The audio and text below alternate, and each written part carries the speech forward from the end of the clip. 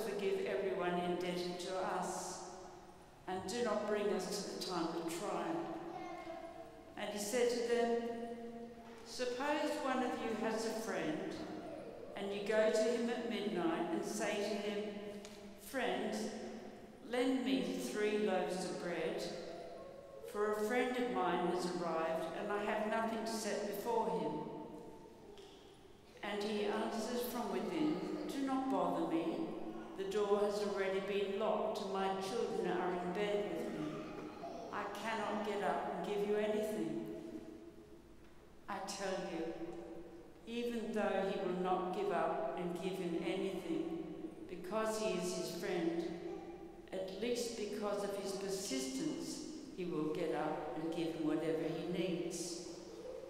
So I say to you, ask, and it will be given to you. Search, and you will find. Knock, and the door will be opened to you. For everyone who asks receives, and everyone who searches finds, and for everyone who knocks, the door will be opened. Is there anyone among you who, if a child asks for a fish, will give a snake instead of a fish?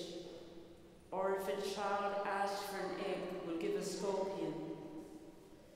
If you then, who are evil, know how to give good gifts to your children, how much more will the Heavenly Father give the Holy Spirit to those who ask Him? This is the gospel of the Lord.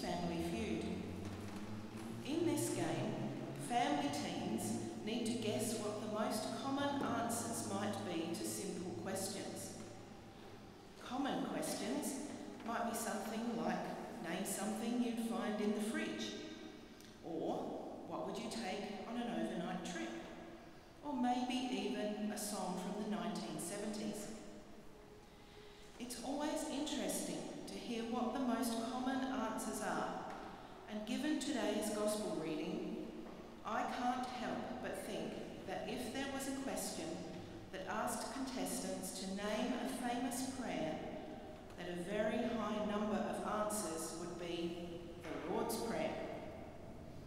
It is the greatest prayer of the Christian Church and has been translated into almost every language in the world. And because it is so well known, has some unusual uses. One of these is that it has been used to compare languages.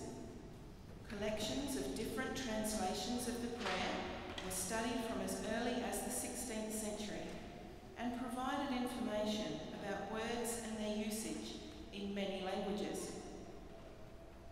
The Lord's Prayer has been set to many and varied pieces of music, and some of you might remember Sister Janet Mead, a Catholic nun from Adelaide who only died in January this year.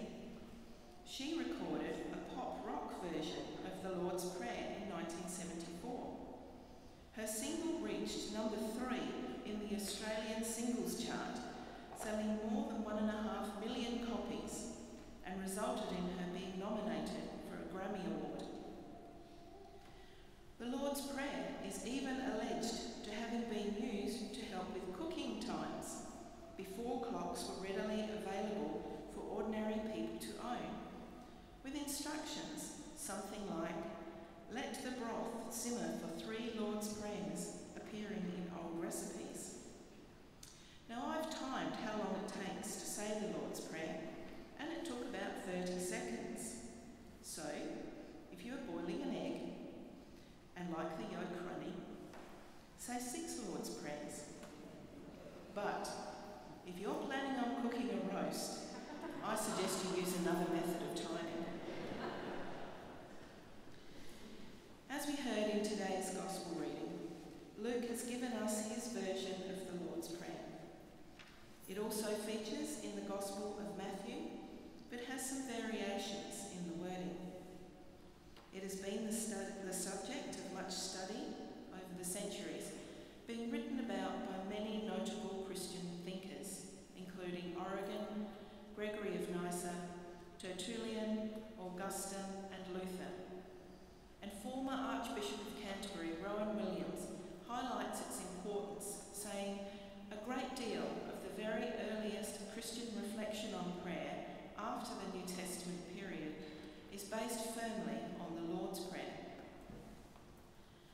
2,000 years ago, it was an accepted custom that notable people taught their disciples to pray. The disciples had observed Jesus praying on several occasions and knew that it was an important part of his life, so it wasn't an outrageous or unexpected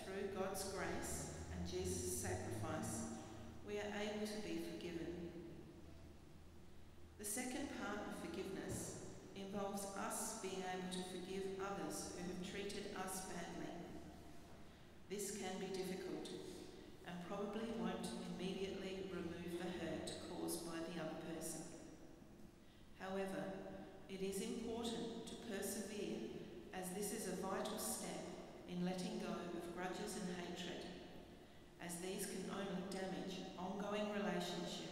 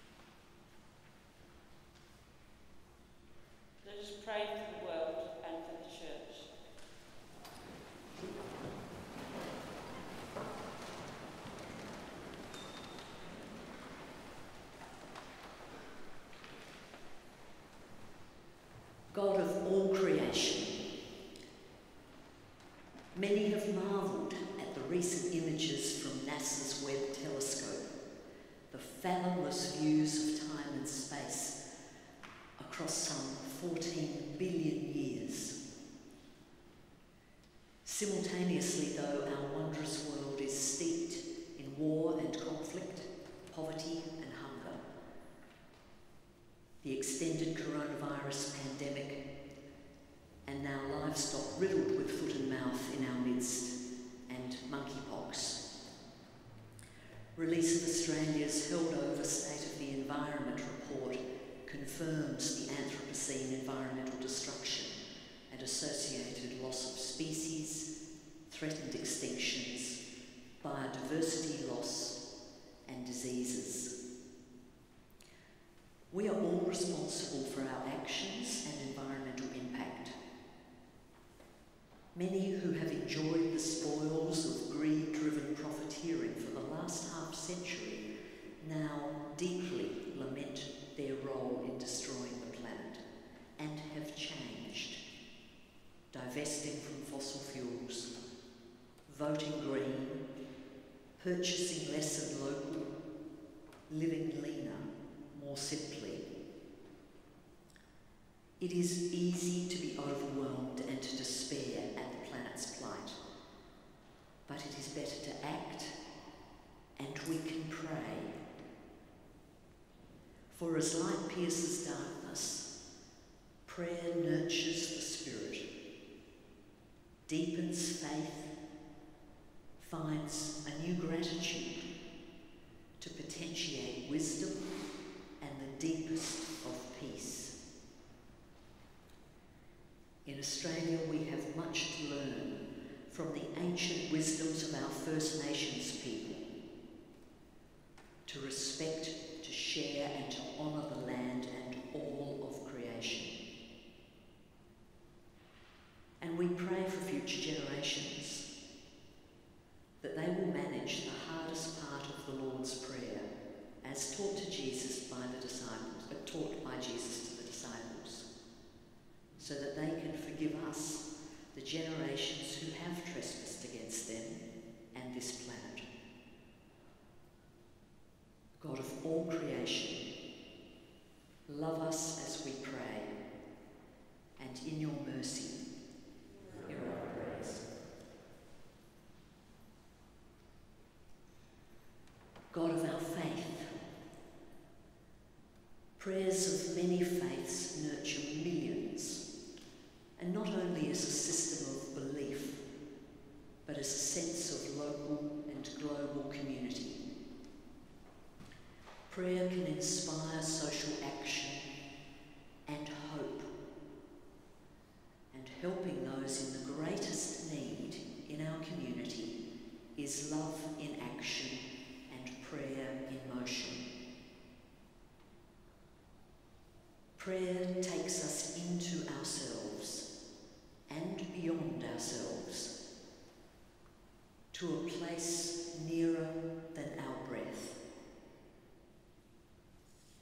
In these uncertain times, faith and prayer are perhaps more important than ever, as many people see the shortcomings of monetary wealth as a primary focus and redefine what really matters in our oh so short and mortal lives.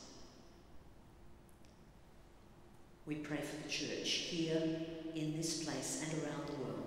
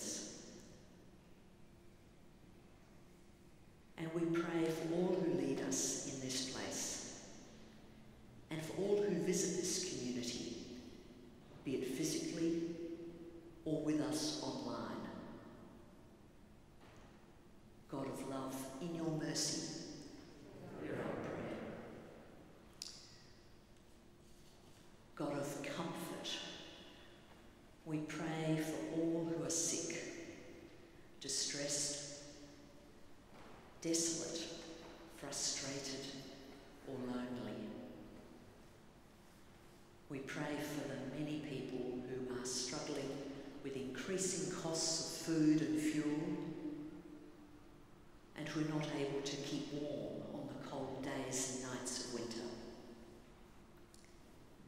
We give thanks for Anglicare SA, who in addition to providing the increasingly desperate and needed emergency relief building affordable social housing, including an innovative solar panel project to avail renewable energy